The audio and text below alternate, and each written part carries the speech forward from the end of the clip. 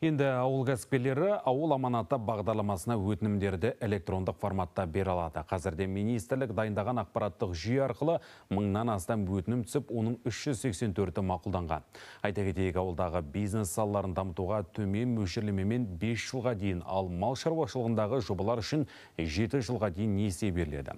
Бұл бағдарлама елмеген тұрғындарының кірісін арттыруға бағытталған. Бұл бағдарламаның төңірегінде пайыз мөлшері екі жарым пайыздан аспайды. Бұл несие мерзімі 5 жылға дейін берілетін болады. Ал мал шаруашылығы саласында жобалар болса ол 7 жылға дейін. Несие суммасы былай жеке кәсіпкерлер үшін 9 миллионнан сәл асады.